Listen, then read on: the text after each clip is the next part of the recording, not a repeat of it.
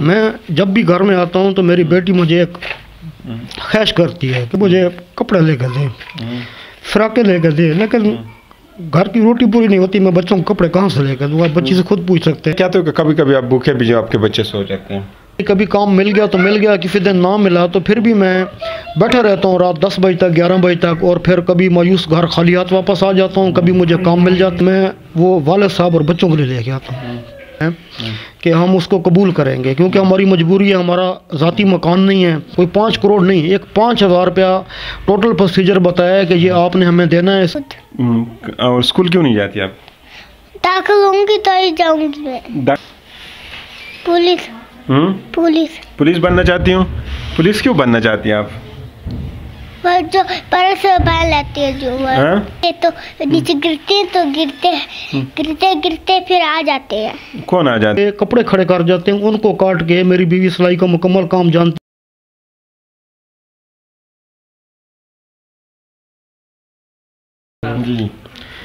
मैं सर एक मजदूर चौक है मेन इस्लामाबाद में फैसल मस्जिद से अग, अगला सेक्टर है एफ़ सेवन टू जहाँ पे एक मशहूर रेस्टोरेंट है हार्डीज़ वहाँ एक मजदूर चौक है। मैं अरसा उनतीस साल से इस मजदूर चौक पर बैठता हूँ और यहाँ से ही बैठ के तो मैं अपने घर के लिए रोज़ी रिस्क का बंदोबस्त करता हूँ। तो अब मुस्तकिल काम मेरा नहीं है। मजदूर चौक है यानी कभी काम मिल गया तो मिल गया किसी दिन ना मिला तो फिर भी मैं बैठा रहता हूँ रात दस बजे तक, ग्यारह बजे तक और फिर कभी मायूस घर खाली हाथ वापस आ जाता हूँ, कभी मुझे काम मिल जाता है। लेकिन मैं मुसलसल काम की कोशिश करता हूँ। मुकम्मल हाइडीज़ की ब्रांच जो है, उसका रंग का काम मैं करता हूँ। उसके साथ एक मस्जिद है, बहुत बड़ी, बाबुल इस्लाम अलसफ़ा गोल्ड के साथ। उस मस्जिद के इमाम का नाम है कैम अली शाह साहब, उनसे तस्दीक कर सकते हैं कोई भी साहब जाके। वो सारी मस्जिद भी, अल्हम्दुलिल्लाह, मैंने ही रंग की है।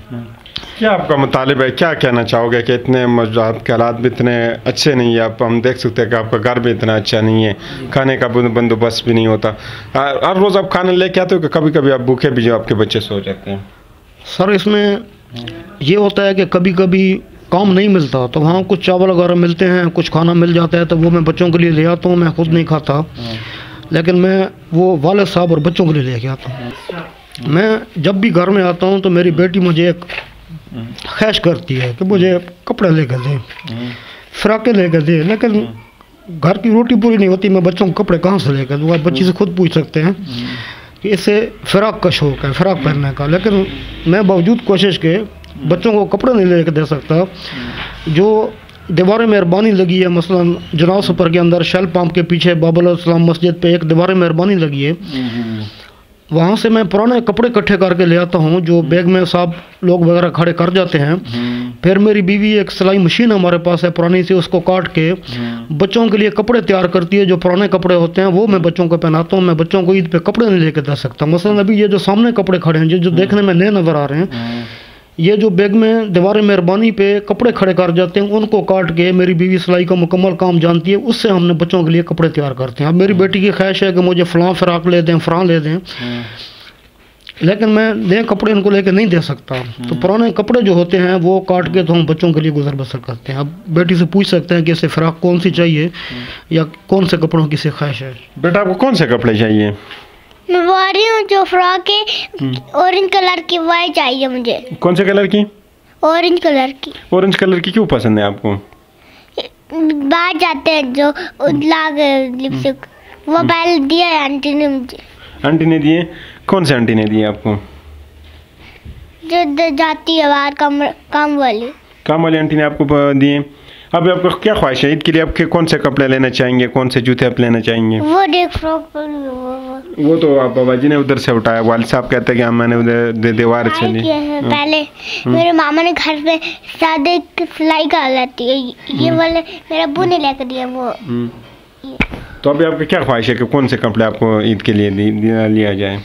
ऑरेंज वाले और ब्लैक दो दो पड़े हुए ब्लैक वाले कपड़े। और फ्रॉकी वही वाले मुझे पसंद आते हैं। वही आपको पसंद आ जाती है? और जूते आपको कौन से पसंद है? ऐसे वाले। कैसे वाली?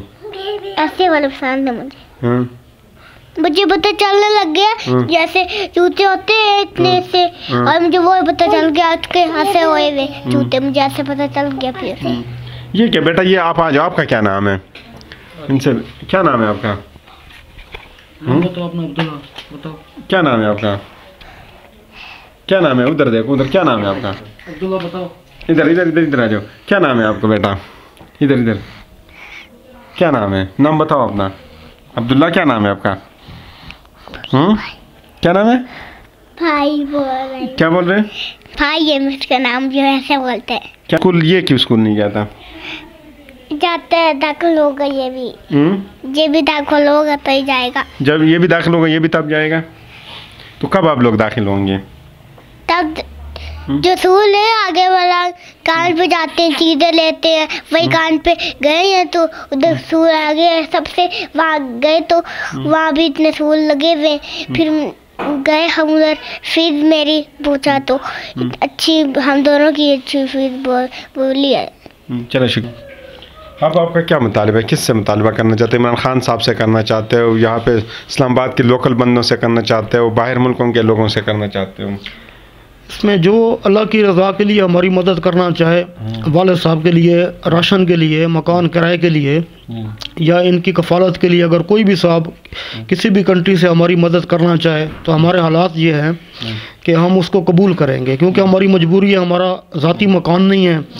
हमारी अपनी कोई बिल्डिंग नहीं है प्रॉपर्टी नहीं है यहाँ हम किराए के मकान में रहते हैं कोई भी बंदा यहाँ आके पूरे मोहल्ले से तस्दीक कर सकता है कि हम किस किस्म के लोग हैं हमारी मुकम्मल वेरिफिकेशन वो कर सकता है। हमारे मालिक मकान का नाम उमेर खान गोल्डा है और वो यहाँ का जो है एक बड़ा मुस्लिम लीग का रहनुमा है। अंजम अकील साहब को भी हमारे घर का पता है।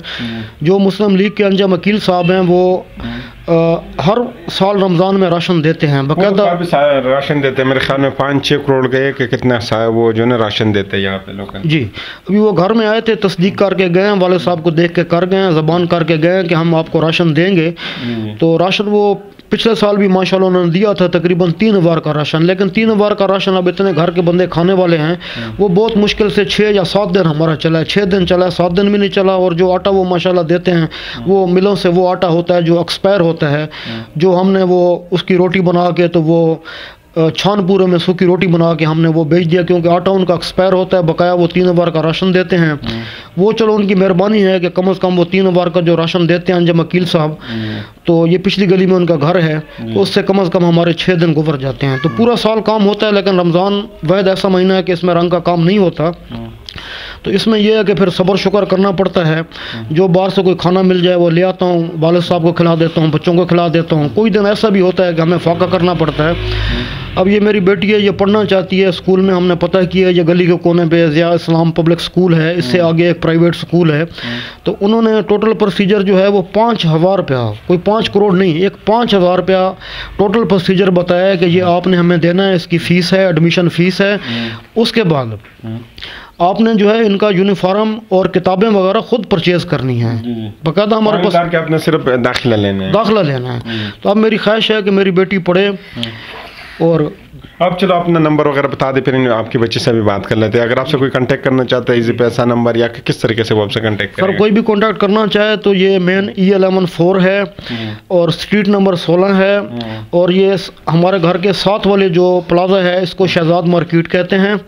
और ये घर जो है ये उमेर खान गोल्डा जो है उसका घर है। यहाँ पूरे मोहल्ले को पता है यहाँ मुस्लिम लीग का जो सीनियर बंदा है उमेर खान गोल्डा उसका घर है। उसके घर में हम किराएदार हैं और मोबाइल नंबर मेरा जो है वो zero three zero four five one seven double zero three seven. ये मेरा मोबाइल नंबर है। अगर कोई हमारे घर में आना चाहे अपनी आँखों से सच्चाई देखना चाहे तो वेलकम वो हमारे घर में आके खुद अपनी आँखों से तस्दीक कर सकता है और सच्चाई देख सकता है। और इसी पैसा ना है आपका कोई? अगर आप इसके इस तरह अगर पैसे भेजना चाहते हैं इस तरह कोई? सर मेरा इलाइट बैंक में अकाउंट है। इलाइट बैंक में मेरा अकाउंट है। और कोई साहब हमारी मदद करना चाहे अल्लाह की रज़ा के लिए तो इलाइट बैंक का अकाउंट नंबर जो है मैं बाद में बाकायदा चेक बुक पढ़ी है मेरी जिसमें तकरीबन पाँच सौ सोलह रुपये इस टाइम खड़ा हुआ है। तो वो इलाइट बैंक का अकाउंट नंबर मैं दे सकता हूँ अगर घर आना चाहे तो खुद आके अपनी आँखों से तस्दीक कर सकता है। मुझे खुशी होगी कि वाले साहब को खुद आके मिले और खुद इनकी हेल्प करें ताकि इन्हें कुछ असर हो। चलो शुक्रिया। बेटा क्या नाम है आपका? जैनब क्या करती है आप? पढ़ जाती हूँ खुद। हम्म, और स्कूल क्यों नहीं जाती आप? दाखिल होंगी तो ही जाऊँगी मैं। दाखिल क्यों नहीं हो रही है आप? हम्म? पैसा नहीं है क्या वजह है? पैसे पापा देते हैं। हम्म। नहीं दाखिले के पैसे पापा के पास है या नहीं है? पैसे पाप मामा को देते हैं। हम्म, मामा थोड़े बहुत देते हैं। तो ज़िंदगी किस तरह आप गुजारा किस तरह करती है बेटा? तो बाहर जाती है बरस लेकर देते ही है। हम्म, नहीं तो अभी आपका दिल करता है कि आप पढ़े अच्छे स्कूल में पढ़े आप अच्छी तालीम हासिल करें? तो पीछे मम्मी जाने लगी। ट्यूशन को भी जाने को दिल करते हैं। बड़े होके क्या बनना चाहती हो आप? पुलिस। हम्म? पुलिस। पुलिस बनना चाहती हूँ? पुलिस क्यों बनना चाहती हैं आप? जो परस पहन लेती है जो वो हाँ? वह जो पहन लेते हैं वही वाले। हम्म, नहीं पुलिस क्यों बनना चाहती हो आप? क्या वजह है? हम्म? इसलिए आप जाते हैं। हम्म। जाते हैं इसलिए हम करते हैं। जब बाहर जाते तो इसलिए आप कहते हैं कि आप पुलिस बन जाए।